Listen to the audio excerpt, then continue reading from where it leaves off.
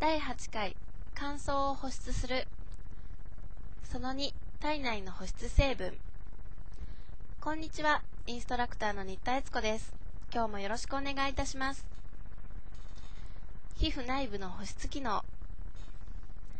昨日は皮膚表面で皮脂膜というバリア機能が保湿で大切な役割をしていることを学びました。今日はその皮脂膜の下の角質層がどのように保湿しているか見ていきます。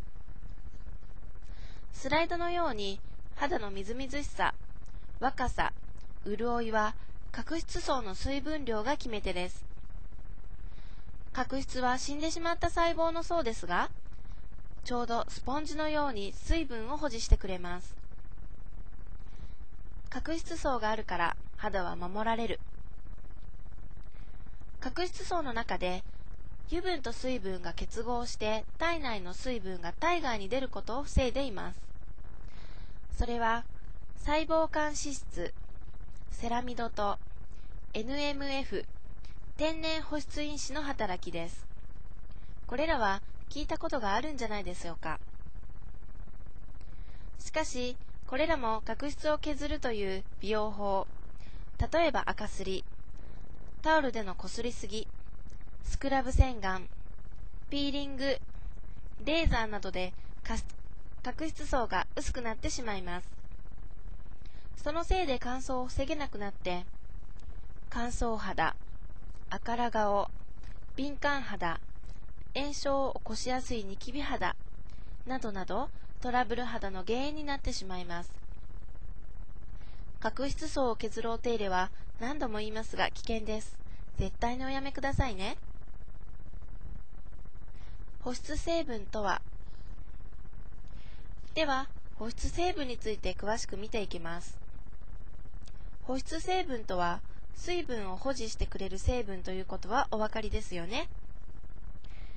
もう一つ、大気中の水分を吸収しながら潤いを保持するという忘れられがちな働きもあるのです。人間本来、肌が持っている保湿成分は NMF、コラーゲン、エラスチン、ヒアルロン酸などがあります。NMF は湿度40%以下だと大気中の水分を吸収しません。ですので、湿度の低くなる秋から冬、そして春までは水分を吸収できない成分です。下の3つの保湿成分は湿度40%以下でも大気中の水分を吸収して保湿してくれますので完璧な保湿成分です。中でもヒアルロン酸は 1g で6リットルもの水分を保持することができますので非常に保湿力高い成分と言えます。これらは人間が本来持っている保湿成分です。しかしこれもまた残念なことですが年を重ねることによって減ってしまう成分でもあります。年を取るとシワが増えるというようなことは、このことからもわかりますよね。